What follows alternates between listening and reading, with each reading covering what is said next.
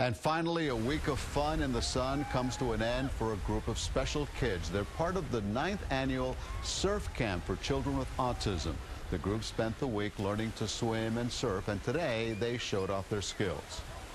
The best part is going on, on the beach and surf. Cool, you get to fall down off the board, um, and you just get to do these crazy stunts, so it's cool. This is very important. Uh, a lot of these kids uh, sometimes are not included with uh, typical kids, so to bring them all together here to make them feel included as all part of the same team, uh, I think it's very important for them. It does wonders.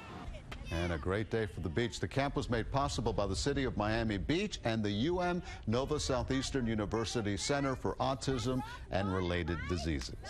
And